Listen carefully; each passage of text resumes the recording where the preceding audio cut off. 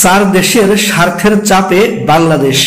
দৈনিক কালের কণ্ঠের এই খবরটি এখন আপনাদেরকে পড়ে শোনাবো। তাই লাইক, শেয়ার ও সাবস্ক্রাইব করে সাথেই থাকবেন। এমনটাই আবেদন রইল।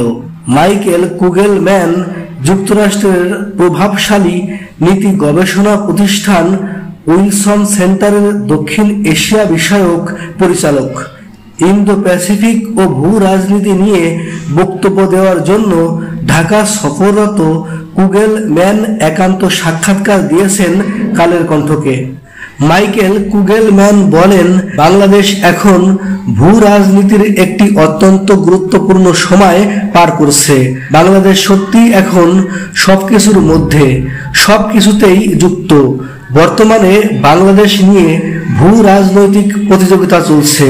ভারত চীন প্রতিযোগিতা, যুক্তরাষ্ট্র চীন প্রতিযোগিতা ও যুক্তরাষ্ট্র রাশিয়া প্রতিযোগিতা।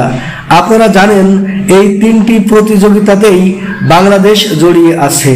চার দেশের স্বার্থের চাপে বাংলাদেশের রাষ্ট্রীয় নীতি হচ্ছে কোনো বলায়ে না যাওয়া।